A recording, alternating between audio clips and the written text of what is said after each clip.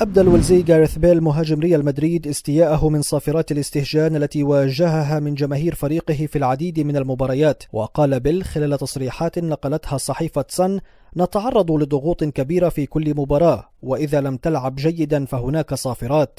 وأضاف كان ثمانين ألف شخص يطلقون الصافرات ضدي لأنني لم ألعب بشكل جيد واجهت ذلك عدة مرات وهو ليس لطيفا ولا يفيد. هذا هو السؤال الأكبر لماذا؟ أنا لا أفهم ذلك. وتابع كلاعب تتوقع حين لا تكون في حالة جيدة على أرض الملعب أن الجماهير ستقف خلفك وتحاول مساعدتك بشكل أفضل لكنهم يفعلون العكس. وأردف يطلقون الصافرات ما يجعلك تشعر بالسوء وتفقد ثقتك في نفسك وتلعب بشكل أسوأ وهذا يجعلهم أكثر غضبا.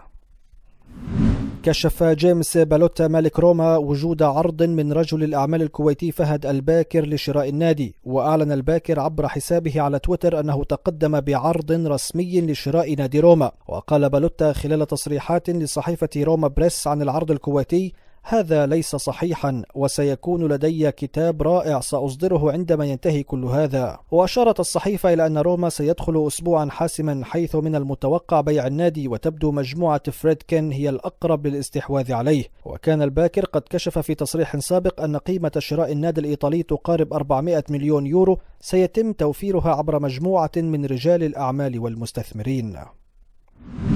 أعلنت رابطة الدوري الإيطالي عن موعد انطلاق الموسم المقبل للكالتشيو.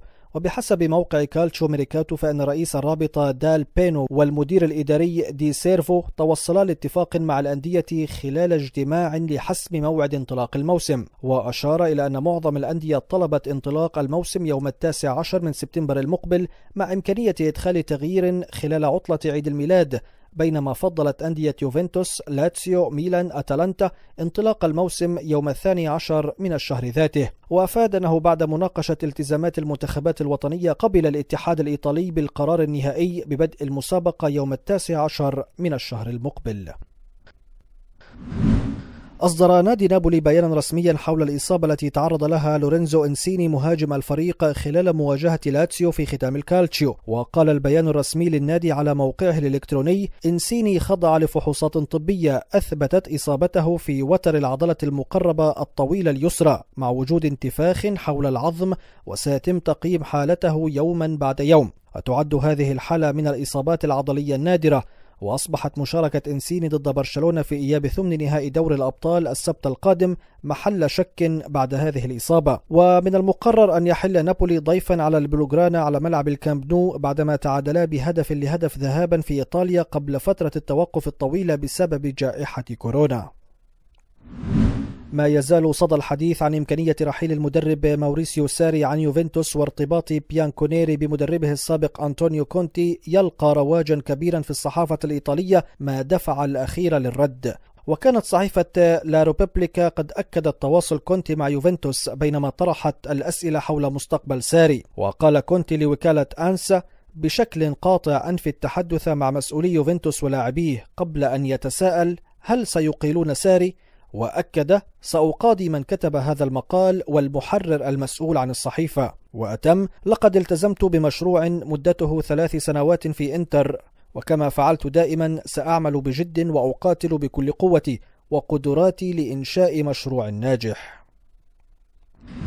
كشفت شبكة سكاي سبورتس عن اقتراب إنتر ميلان من التعاقد مع التشيلي أليكسيس سانشيز مهاجم مانشستر يونايتد بشكل نهائي مجانا. وأوضحت أن نيراتزوري اتفق مع سانشيز الذي لعب له على سبيل الإعارة على توقيع عقد لمدة ثلاثة مواسم براتب سنوي يبلغ سبعة ملايين يورو. وأشارت إلى أن سانشيز فسخ عقده مع اليونايتد بالتراضي. وأوضحت أن هذا الاتفاق سيوفر للشياطين الحمر 60 مليون يورو بينما لن يضطر إنتر ميلان لدفع 15 مليون يورو كقيمة للصفقة. وكان سانشيز انضم لإنتر على سبيل الإعارة الصيف الماضي وشارك في 22 مباراة بالكالتشيو سجل أربعة أهداف وقدم تسع تمريرات حاسمة.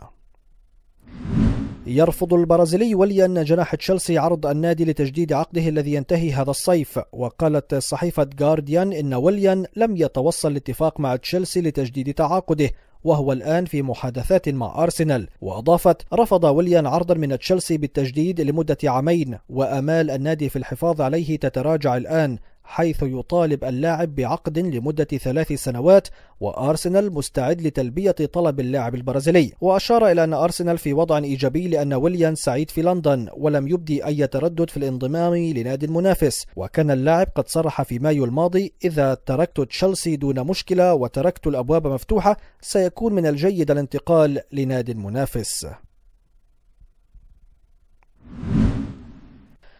مع اختتام بطولة الدوري الإيطالي تنتهي الدوريات الخمس الكبرى لتكشف الإحصائيات أن الليغا كانت الأقل تهديفا هذا الموسم برصيد 942 هدفا في 380 مباراة أي بمعدل هدفين فارز 48 هدف للقاء. وكان الدوري الألماني هو الأكثر تهديفا ب 982 هدفا في 306 مباريات بمعدل 3 فارز 21 هدفا في المباراة. وكان معدل التهديف في الدوري الإيطالي 3 فارز 0 4 وفي الدوري الدوري الإنجليزي 2 فارز 72 وفي الدوري الفرنسي 2 فارز 52 ولكن لم يتم استكمال المسابقة بسبب كورونا.